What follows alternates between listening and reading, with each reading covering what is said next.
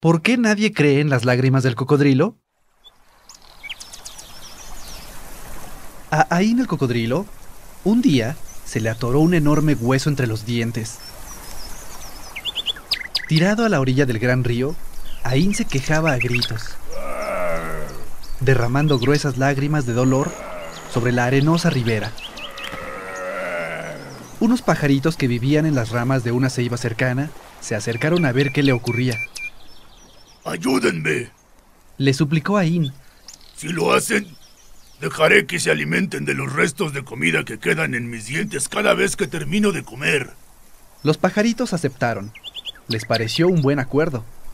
No era fácil obtener comida en aquellos tiempos, así que trabajando en equipo, lograron sacar aquel gran hueso del cocodrilesco hocico. Desde esa ocasión, cada vez que Aín terminaba de comer, abría su gran hocico y los pajaritos llegaban a alimentarse con los restos de comida que habían quedado entre los afilados dientes del reptil.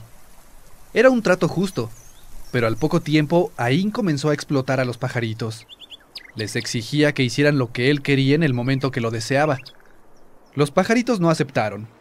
Eso no es parte del trato que tenemos contigo. Le dijeron. Pues si no hacen lo que les ordeno, voy a ir hasta el árbol en donde tienen sus nidos y azotaré el tronco con mi cola hasta que sus huevos y polluelos caigan a tierra. Entonces los devoraré.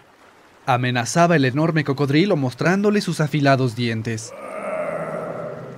A los pajaritos no les quedó más remedio que hacer todo lo que Ain les pedía. Tenían mucho miedo de que cumpliera su promesa y devorara a sus crías.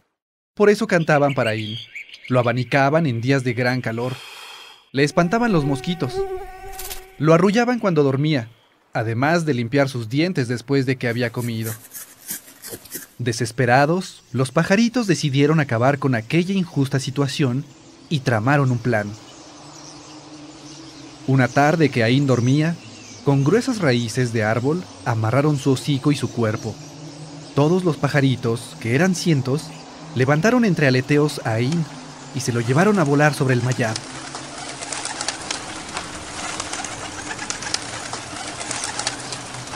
Mientras lo llevaban por el aire, le iban preguntando, ¿Vas a dejar de explotarnos? ¿Vas a tratarnos con justicia? Aín se revolvía furioso en un principio, pero sabiendo lo lejos que estaba de la tierra, aceptó todo aquello que le pedían los pajaritos.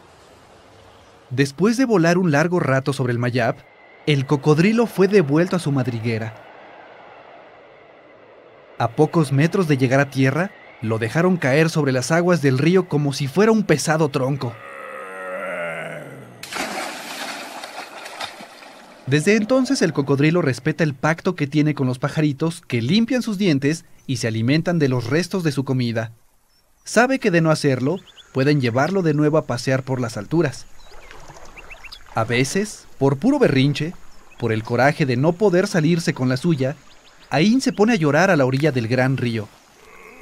Pero nadie en el Mayab le hace caso. Todos saben que solo son lágrimas de cocodrilo. Todos tenemos derecho al trabajo justo. Ain. ¿Por qué nadie cree en las lágrimas del cocodrilo?